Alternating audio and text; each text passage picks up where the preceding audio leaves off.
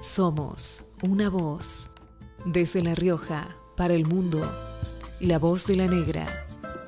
¡Negra! ¡Negra! ¡Negra! ¡Negra! ¡Negra! ¡Negra! ¡Negra! Feminismo. En podcast. Día de las Infancias y su cambio de paradigma. El gobierno nacional propuso cambiar el nombre del Día del Niño por el Día de las Infancias a la jornada de este domingo para incluir las diversidades de la niñez. Cabe recalcar que en Argentina, el pasado domingo 16 de agosto se estuvo celebrando el Día del Niño. Bajo el lema Hay muchas maneras de vivir la niñez, se presentó una campaña para posicionar el enfoque de derechos con perspectiva de géneros en la forma de representar a la diversidad de las vivencias de la niñez.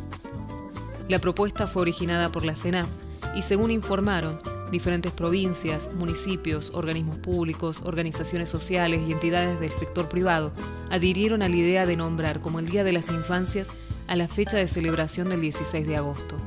La iniciativa acompaña cambios culturales, sociales y normativos que se dieron en los últimos años y reconoce desde las políticas públicas a la diversidad de las infancias en nuestro país, atravesadas por cuestiones de género, discapacidad, lingüísticas, regionales, entre otras y desde una perspectiva de derechos humanos.